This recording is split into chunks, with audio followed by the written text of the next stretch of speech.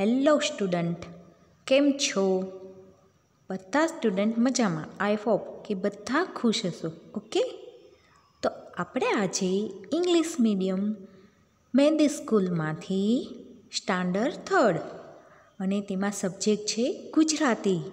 ગુજરાતીમાં આપણો ટોપિક છે અંક. આપણે ફર્સ્ટ અને સેકન્ડ સ્ટાન્ડર્ડમાં સ્ટુડન્ટ શીખી ગયા છીએ કે એકથી દસનું અંકનું લેખન અને વાંચન. તો આજે આપણે એકથી વીસ અંક અને લેખન વાંચન બંને શીખીશું, ઓકે? તો એ પહેલાં આપણે આની પહેલાંના લેક્ચરમાં જે આપણે સ્ટાર્ટ કર્યું હતું, એકવાર તેનું રિવિઝન કરીએ કે આપણે શું શીખ્યા હતા. તો તેમાં શીખ્યા હતા મૂળાક્ષરો. શું શીખ્યા હતા? સ્ટુડન્ટ, મૂળાક્ષરો, ઓકે? તો મૂળાક્ષરોમાં આવે છે પહેલાં સ્વર. ગુજરાતીનો મેઇન પાયો છે મૂળાક્ષરો અને તેમાં ફર્સ્ટ આવે છે સ્વર. જો આપણે પરફેક્ટ સ્વર અને વ્યંજન શીખીએ છીએ, તો આપણને વાંચન પરફેક્ટ ફાવી શકે છે. તો એ માટે થઈ અને આપણે પહેલાં સ્વર. તો સ્વરનું એકવાર આપણે રિવિઝન કરી લઈએ. તો પહેલાં શું છે? અ, આ ઈ ઈ ઉ ઉ, ઓકે?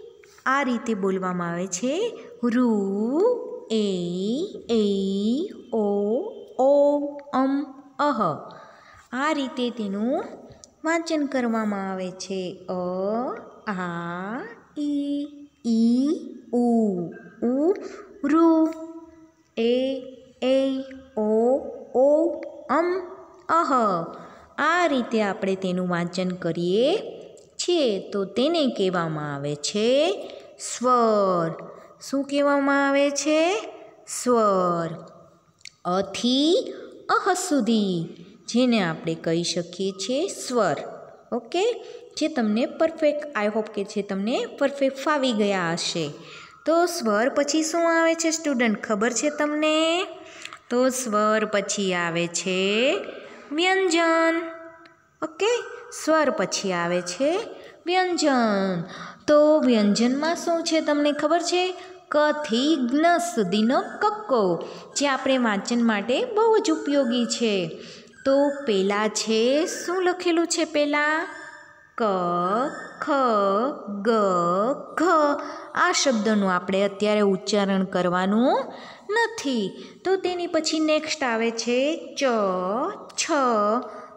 જ ઝ અને આનું પણ આપણે ઉચ્ચારણ એની પછીનું કરવાનું નથી.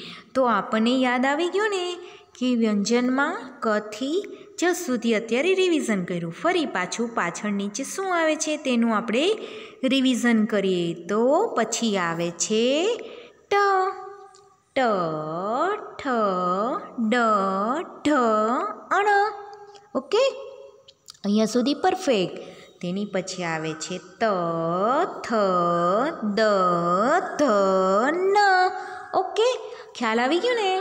હમ, સરસ. તો તેની પછી આવે છે પ, ફ, બ ભ મ. ઓકે? કઈ લાઇનિંગમાં લખેલું છે? બ્લુ લાઇનિંગની વચ્ચે. તેની બહાર લેખન કાર્ય જવું જોઈએ નહીં. ખ્યાલ આવી ગયો ને તમને, સ્ટુડન્ટ? હા, તો આ રીતે મ સુધીનું આપણે રિવિઝન જોયું. હવે આગળ જોઈએ. તો આ શું છે? ય. શું કહેવામાં આવે છે તેને? ય, ર, લ, વ. શંકોરાનો શ ફાળી શ અને શ. હ, અણ. ઓકે?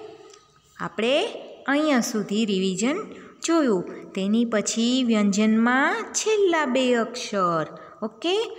તો તેને શું કહેવામાં આવે છે? ક્ષત્રિયનો શ યજ્ઞનો જ્ઞ ઓકે? ખ્યાલ આવી ગયો ને?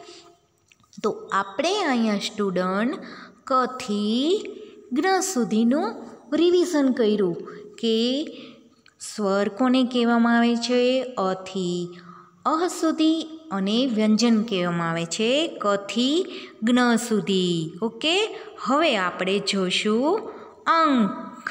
જે આપણે અંક શીખવાના છે, તેને આપણે આજે શીખવા, અંક શીખીશું. Okay, student? તો પહેલાં આવે છે અંકો. તો અંકમાં આવે છે એક. એકડે એક. તો આ છે પિકોક. ઇંગ્લિશમાં કહીએ છીએ પિકોક. અને ગુજરાતીમાં તેને બોલીએ છીએ મોર. ખ્યાલ આવી ગયો તમને? તો આ છે ને, મોર કેવી રીતે બોલે છે ખબર છે ને? ટેહું ટેહું આપણને બહુ જ ગમે છે. તો એક કડે એક અને તેની સામે ચિત્ર છે એક. ખ્યાલ આવ્યો? એક. અને તેને લેખન કરવામાં આવે છે એક. તેની પછી છે બે. તો કેટલી ડોલ છે ઢીંગલી? ઇંગ્લિશમાં ડોલ કહીએ, ગુજરાતીમાં ઢીંગલી કહીએ છીએ તો તે કેટલી છે? એક અને બે. ઓકે, ખ્યાલ આવ્યો તમને સ્ટુડન્ટ? પહેલાં ચિત્ર એક અને પછી બે. તો આને બોલાય છે કડે એક. તેનું કેવી રીતે ઉચ્ચારણ કરવામાં આવે છે વાંચન? એ કડે એક અને બગડે બે. બરાબર? એક અને બે. ઓકે, ખ્યાલ આવી ગયો? તેની પછી આપણે આવે છે ત્રણ. ઓકે? ત્ર ગળે ત્રણ. શું કહેવાય છે? ત્ર ગળે ત્રણ. તો કેટલી ખિસકોલી છે ગણો તો એક, બે, ત્રણ ખિસકોલી છે. તો તેને કહેવામાં આવે છે ત્ર ગળે ત્રણ. ખ્યાલ આવ્યો ને તમને? ત્રણ ખિસકોલી છે. તો તેને બોલીએ ત્ર ગળે ત્રણ. તો એની પછી આવે છે ચોગડે ચાર. શું બોલવામાં આવે છે? ચોગડે ચાર. ચલો તેને ઇંગ્લિશમાં શું કહીએ છીએ કેટ. અને ગુજરાતીમાં બોલીએ છીએ બિલાડી. તો કેટલી છે ગણો? એક, બે, ત્રણ, ચાર. કેટલી બિલ્લી છે બિલાડી? ચાર. ઓકે, ખ્યાલ આવી ગયો ને તમને? કેવું સરસ બોલે છે કે આ મ્યાઉ મ્યાઉ અને આપણા ઘરમાં દૂધ પી જાય છે. અને જાણે કે વાઘ હોય ને નાનું એવું બચ્ચું એની જેવું લાગે છે દેખાવમાં. તો આપણે છે ને થર્ડ સ્ટાન્ડર્ડમાં એક પાઠ આવે છે. લેશન, તો તેને પણ કહેવામાં આવે છે સિંહનું જાણે કે નાનું બચ્ચું મારા ઘરનો રાજા છે. એવી રીતે તેની ઓળખાણ આવે છે. તો આ છે બિલાડી. અને કેટલી છે? ચાર. તો તેને ચોગડે ચાર બોલવામાં આવે છે. ખ્યાલ આવ્યો તમને? તેની પછી આવે છે પાંચ. જો તમે જોઈ શકો છો, કેટલી છત્રી છે? પાંચ. ગણો તો એક, બે, ત્રણ, ચાર, પાંચ. કેટલી છત્રી છે? પાંચ. છત્રીનો ઉપયોગ ક્યારે કરીએ છીએ સ્ટુડન્ટ? ચોમાસામાં, જે અત્યારે સ્ટાર્ટ છે. ચોમાસામાં શું આવે? વીજ, વરસાદ આવે છે, વીજળી થાય છે. અને વાદળ ગરજે છે, જે આપણા સ્ટાન્ડર્ડ થર્ડમાં જેનું લેશન આવવાનું છે, વરસાદનું, તેમાં આવે છે કે કાળા કાળા વાદળ થાય છે આકાશમાં અને વીજળીના ચમકારા થાય છે ધડાંગ ધડીંગ અવાજ આવે છે, બરાબર?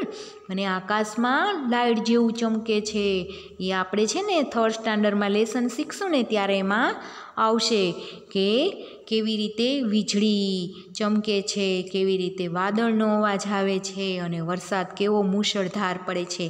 તો એ પાઠનું નામ શું છે? મુશળધાર વરસાદ. જે આપણે પછી શીખશું, ઓકે? તો આ શું છે? છત્રીનું ચિત્ર. તો કેટલી છત્રી છે, સ્ટુડન્ટ? પાંચ. બરાબર. તો આ છે પાંચડે પાંચ. તો હવે છે વિમાન. શેનું ચિત્ર છે? એરોપ્લેન, જેને આપણે ઇંગ્લિશમાં એરોપ્લેન કહીએ છીએ. અને ગુજરાતીમાં કહીએ છીએ વિમાન. તો આ શું છે? એક, બે, ત્રણ, ચાર, પાંચ, છ. કેટલા વિમાન છે? છ. છ વિમાન છે. તો આ છે છગડે છ છ વિમાન અને છ ગળે છ. ખ્યાલ આવી ગયો તમને? કે પાંચણે પાંચ અને છ ગળે છ. તેની પછી આવે છે સાત. ઓકે? સાતડે સાત. તો કેટલી ટોપી છે? શેનું ચિત્ર છે? ટોપીનું એ તો હું મેં કહ્યું. હા, બોલો બોલો, ટોપીનું ચિત્ર છે. તો કેટલી ટોપી છે? એક. કેટલી ટોપી છે ગણો તો? હા એક બે, ત્રણ, ચાર, પાંચ, છ, સાત. કેટલી ટોપી છે? સાત. અને આ કેટલા લખેલ છે? સાતડે સાત. ઓકે, ખ્યાલ આવ્યો? સાતડે સાત. બોલવામાં આવે છે, અને ટોપીને ઇંગ્લિશમાં શું કહીએ છીએ? કેપ. સરસ વેરી ગુડ તો આપણે સાત ટોપી ગણી અને સાતડે સાત લેખન જોયું. હવે છે ફુગ્ગા. ફુગ્ગાનું ચિત્ર જે આપણે ગાર્ડનમાં ફરવા જઈએ ત્યાં આગળ આપણે જોઈએ છીએ બરાબર ને? અને જ્યારે ઉત્તરાયણ આવે ત્યારે ઘણા બાળકો આકાશમાં ફુગ્ગા ઉડાવે છે. બરાબર ને? કેવા રંગબેરંગી ફુગ્ગા હોય છે? જો orange colour, yellow colour, pink colour, red colour, black, white ને અલગ અલગ ડિઝાઇન છે તેમાં. બરાબર? પાક્કું ને? હા, એવા સરસ મજાના આકારોવાળા ફુગ્ગા હોય છે. ફુગ્ગા કહેવામાં આવે છે. જેને આપણે ગુજરાતીમાં ફુગ્ગા કહીએ છીએ અને ગુજરાતીમાં રંગનું નામ શું? લાલ, લીલો, પીળો. બરાબર? કાળો, સફેદ. આવી રીતે બધા અલગ અલગ કલરના ફુગ્ગા હોય છે. તો કેટલા ફુગ્ગા છે ગણો તો સ્ટુડન્ટ? એક, બે, ત્રણ, ચાર, પાંચ, છ, સાત, આઠ. કેટલા ફુગ્ગા છે? આઠ ફુગ્ગા છે. તો આ છે આઠડે આઠ. ઓકે? કયો છે અંક? આઠડે આઠ. હવે એની પછી આપણે જોઈશું સાત અને આઠ શીખી ગયા. તેની પછી આવે છે નવ. નવ વડે નવ. શું કહેવામાં આવે છે? ચલો, શેનું ચિત્ર છે, સ્ટુડન્ટ? પતંગિયા. ગુજરાતીમાં પતંગિયા ને ઇંગ્લિશમાં બટરફ્લાય. ઓકે? હમ, કેવા સરસ સરસ મજાના ઉડતા હોય છે ક્યાં? આપણને જોવા ગમે છે. ગાર્ડનમાં વધુ જોવા મળે છે અને જ્યાં આગળ ફૂલ હોય ને, ત્યાં વધુ હોય છે. પતંગિયા.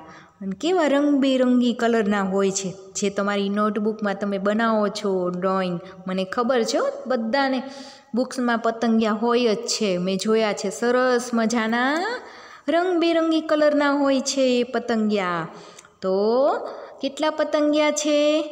ગણો તો તમે બધા. મારી સાથે એક, બે, ત્રણ, ચાર, પાંચ, છ, સાત, આઠ નવ. કેટલા પતંગિયા થા? એક, બે, ત્રણ, ચાર, પાંચ, છ, સાત, આઠ, નવ. નવ પતંગિયા થયા. આપણે ગણતરી કરી તો કેટલા પતંગિયા હતા? નવ. તો તેની બાજુમાં અંક લખે છે નવ વડે નવ. ઓકે? કેટલા અંક લખ્યા છે નવ વડે નવ? તો હવે એની પછી નીચે છે એકડે મીંડે દસ. એકડે મીંડે દસ આપણે ઓલા સોંગ મળે ને એકડે મીંડે દસ આવી સ્કૂલની બસ. એવી રીતે આપણે સોંગ ગાઈએ છીએ ને, તેવી જ રીતના એકડે મીંડે દસ. અને શેનું ચિત્ર છે? ફિશ ઇંગ્લિશમાં જેને કહીએ છીએ ફિશ અને ગુજરાતીમાં તેને કહેવામાં આવે છે માછલી. શું કહેવામાં આવે છે? માછલી. તો કેટલી છે ગણો તો મારી સાથે બધા? એક બે, ત્રણ, ચાર, પાંચ, છ. સાત, આઠ, નવ, દસ. કેટલી માછલી છે? દસ માછલી. બરાબર ને? દસ માછલી છે. ગણીને હા. એક, બે, ત્રણ, ચાર, પાંચ, છ, સાત, આઠ, નવ, દસ. એકડે મીંડે દસ. કેટલી માછલી હતી? એકડે મીંડે દસ માછલી હતી. બરાબર ને? જોઈને તમે બધાએ તો આપણે એકથી દસની ગણતરી કરી અને એકથી દસના અંક શીખ્યા. હવે આપણે આગળ અંક શીખીશું, બરાબર ને? તો એ અંક કેટલા છે? તો કે અગિયારથી વીસ. દસ પછી શું આવે? બે એકડા અગિયાર. તો આપણે અંગ્રેજીમાં અને ગુજરાતીમાં બંનેમાં આપણે આજે અંક શીખવાના છે.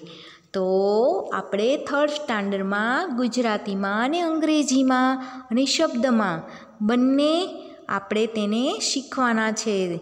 ઓકે? ખ્યાલ આવી ગયો?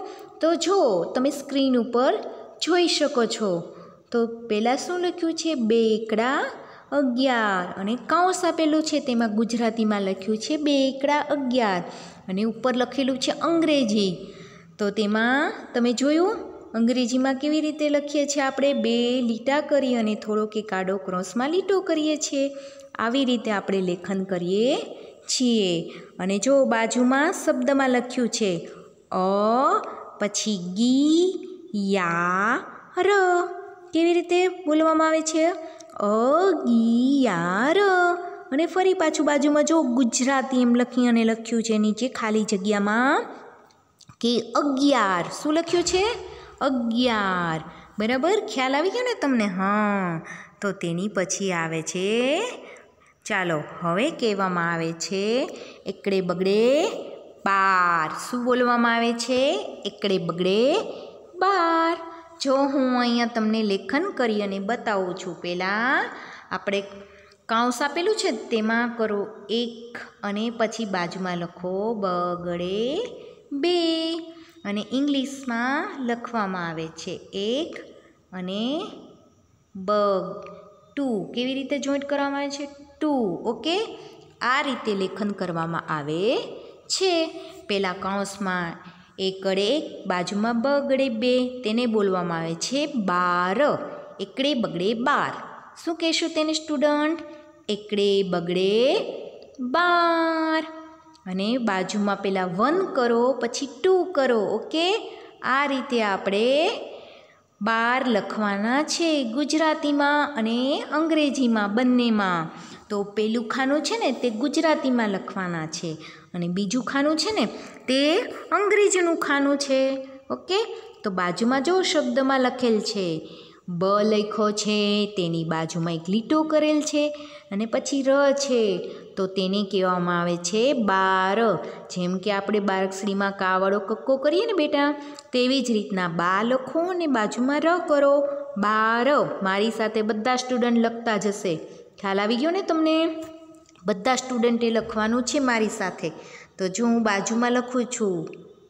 બા, ર. ઓકે? આ રીતે તમારે લખવાનું છે. બા, ર. જો પેલું છે બે એકડા અગિયાર અને ફરી પાછું અહીંયા ગુજરાતીમાં કૌંસમાં લખેલું છે અગિયાર અને ઇંગ્લિશમાં લખ્યું છે વન વન. તેને કહેવામાં આવે છે અગિયાર. ઓકે? ખ્યાલ આવ્યો? હમ, તો આ શું લખેલું છે શબ્દમાં? અગિયાર અગિયાર. તો અગિયાર કેવી રીતે લખવાનો? પહેલાં અ લખો અજગરનો, પછી કીવાળા કક્કાની જેમ. ગી કરવાનું છે. બરાબર? પછી યતીશનો ય લખો. બાજુમાં એક લીટો કરો કાવાળા કક્કાની જેમ તેને કહેવામાં આવે છે યા અને સાદો ર. ઓકે? તો કેવી રીતે બોલવામાં આવે છે બેટા? અગિયાર. અગિયાર, ઓકે? હમ. તો હવે છે એની પછી નીચે બાર. એકડે બગડે બાર. પહેલાં એકડે કરો, પછી તેની બાજુમાં બગડે બે કરો અને પછી તેને બોલો બાર. ઓકે? ખ્યાલ આવી ગયો? બાર. અને અંગ્રેજીમાં કૌંસમાં કેમ લખવાનું? પહેલાં વન કરો અને બાજુમાં ટુ કરો. ઓકે? ખ્યાલ આવ્યો તમને? પહેલાં વન કરો, પછી બાજુમાં કરો ટુ. કેવી રીતે લખ્યું તમને? ખ્યાલ આવ્યો ને તમને, સ્ટુડન્ટ? એક અને એકડે બગડે બે. બંને ભેગા લખવાના છે. કોઈ અલગ કરવાના નથી. એટલે જ માટે મેં કાઉન્સ બતાવ્યું છે તમને. સ્ટુડન્ટ પહેલાં પાક્કું ખ્યાલ રાખજો. કોઈ પણ સ્ટુડન્ટે જુદા પાડી લખવાના નથી. બંને બાજુ બાજુમાં ભેગા જ લખવાના છે. જેમ કે મેં લખ્યા છે તે જ રીતે. ઓકે? કોઈ પણ, એટલે જ મેં કાઉન્સ બતાવ્યું છે, કોઈ પણ જુદા જુદા નહીં સાથે જ લખવાના છે બંને. તેને કહેવામાં આવે છે બાર. જો તે મેં બાજુમાં લખો કાવાળા કાની જેમ બા કરો ને સાદો અક્ષર ર. ઓકે? સાદા કક્કાની જેમ ર. તો તેને બોલવામાં આવે છે બા ર ખ્યાલ આવ્યો તમને? હમ, સરસ. તો તેની પછી આવે છે એકડે તગડે તેર. એકડે તગડે તેર તો પહેલાં આપણે અહીંયા કૌંસમાં એકડો લખશું, પછી ત્રગડે ત્રણ કરશું. તો તેને શું કહેવામાં આવે છે? એકડે તગડે તેર. એકડે તગડે તેર. એકડે તગડે તેર. સરસ. એકડે તગડે તેર કહેવામાં આવે છે. તો અહીંયા લખો બાજુમાં વન. ઓકે? આ રીતે વન લખો અને બાજુમાં લખો થ્રી. ઓકે, ખ્યાલ આવ્યો? આ રીતે તમારે લેખન કરવાનું છે. બંનેને અલગ કરવાના નથી. એક અને ત્રણ બાજુ બાજુમાં લખવાના છે. તો એકડે તગડે તેર. તો આ શું છે? એકડે તગડે તેર. હવે જોઈએ આપણે શબ્દમાં. તો શબ્દમાં કેવી રીતે લખવામાં આવે છે? તો કે પેલા ત કરો, તલવારનો ત, ઉપર કેવાળા કક્કાની જેમ એકમાત્ર કરો, તેને કહેવામાં આવે છે તે. અને સાદા કક્કાની જેમ ર લખો ફક્ત. ઓકે? તો તેને બોલીએ છીએ તેર.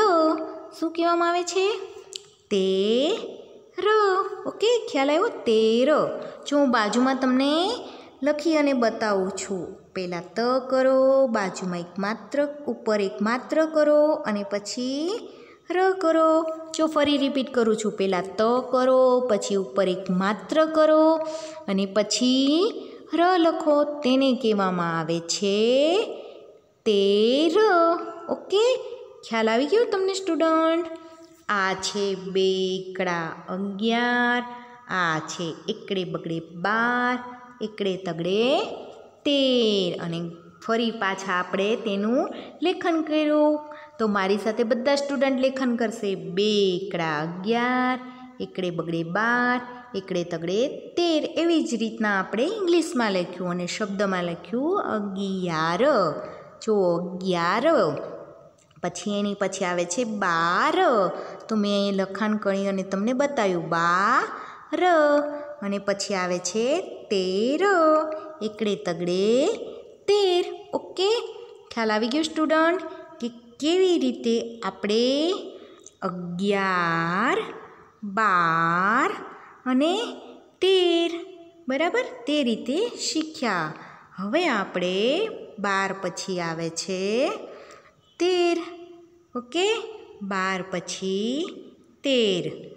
તો આપણે બારનું લખાણ કર્યું અને તેરનું લખાણ કર્યું. ફરી એકવાર રિપીટ કરી લઈએ આપણે.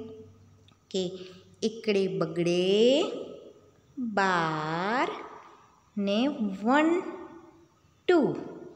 આ રીતે લખવામાં આવે છે ચોરસમાં. બંને ભેગા લખવાના છે એટલે હું એ રીતે બોલું છું. વન અને બાજુમાં કરો ટુ. લખો બાજુમાં બા ર ઓકે, ખ્યાલ આવી ગયો? હમ, હવે છે એકડે તગડે તેર. શું કહેવામાં આવે છે? એકડે તગડે તેર. જો અહીં લખું, એક અને ત્રગડે ત્રણ. તો તેને બોલીએ છીએ તેર. એકડે તગડે તેર. અહીંયા કરો વન, અહીંયા કરો થ્રી. અને બાજુમાં શબ્દમાં લખેલું છે, તની ઉપર એક માત્ર તેર. ઓકે? એની પછી નીચે આવે છે, એકડો કરો અને બાજુમાં ચોગડે ચાર કરો આ રીતે. તો તેને કહેવામાં આવે છે ચૌદ, બરાબર? તો અહીંયા કરો વન, એની બાજુમાં કરો ફોર. તો અહીંયા આગળ આપણે લખશું ચો, અને અહીંયા લખશું દ, ઓકે? તો હવે નહીં પછી આવે છે એકડે પાંચડે પંદર. તો જો અહીંયા હું તમને બતાવું છું. પહેલાં એક કરો, પછી પાંચડે પાંચ કરો, ઓકે? અને તેને કહીએ છીએ એકડે પાંચડે પંદર. અને અહીંયા આગળ ઇંગ્લિશમાં લખો વન અને લખો બાજુમાં ફાઈવ ઓકે? હમ. તો હવે આપણે લખેલું છે પંદર. તો કેવી રીતે લખણ? જો પહેલાં પ કરો, ઉપર એક નાની એવી બિંદી કરવાની છે. ઓકે? નાની એવી બિંદી કરો અને બાજુમાં લખો દ અને પછી ર.